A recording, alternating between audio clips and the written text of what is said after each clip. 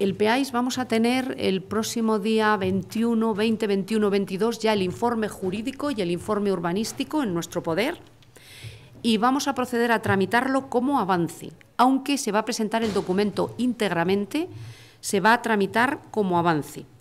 Por una razón, porque eh, precisamente la Ley de Rehabilitación, Regeneración y Renovación Urbana de Castilla y León va a entrar en vigor eh, próximamente. Creo que exactamente, creo, me parece recordar que es el día 19 de este mes.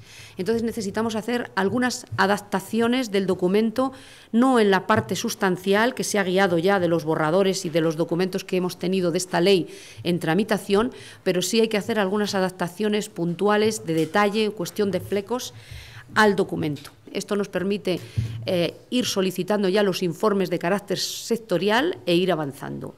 y hace que no tengamos eh, que impedir eh, que, nos veamos imposibilitados para conceder licencias de obras en la zona PEAIS hasta que suceda la aprobación inicial, que será en torno a marzo y la aprobación definitiva nos vamos a la siguiente legislatura. Las cerchas estaban incluidas en el proyecto. Una empresa, una vez que está construyendo, por el mismo presupuesto retira las cerchas, que sé perfectamente que hay una sentencia judicial y que tendremos que acabar retirándolas.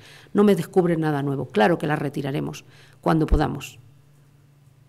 Pero hay muchas necesidades en los barrios y les recuerdo que no podemos llegar a todas y las cerchas están ahí, es una pequeña perturbación en el paisaje del casco histórico, pero realmente no hacen un mal como puede hacer, por ejemplo, eh, pues la carretera de, de Torredondo que tanto se quejaban los vecinos.